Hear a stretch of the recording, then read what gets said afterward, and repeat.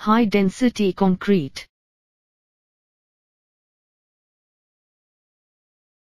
High-density concretes are those whose density is more than 2,600 kilograms per meter cube. This type of concrete is also called the heavyweight concrete. The aggregates used for preparing this type of concrete are heavyweight aggregates whose specific weight is more than 3000 kilograms meter cube. Some of the natural minerals used as heavyweight aggregates are hematite, magnetite, limonite, and barite. Some of the artificial aggregates include materials like steel punching and iron shot.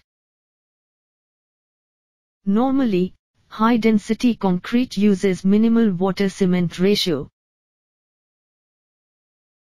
In the case where high fixed water content is required, minerals like bauxite, hydrous iron ore or serpentine which are slightly heavier than normal weight concrete are used for preparing heavy density concrete. Heavyweight concrete is extensively used as a shield in nuclear plants and radiotherapy rooms, and for transporting and storing radioactive wastes. Most commonly, the concrete made of magnetite aggregate which has a density range from 3200 to 4000 kilograms meter cube is used for shielding purposes. Recently, researchers have reported that the concrete prepared with heavyweight aggregates of different mineral origin are useful as radiation absorbents. Thank you for watching. Stay tuned. The best is yet to come.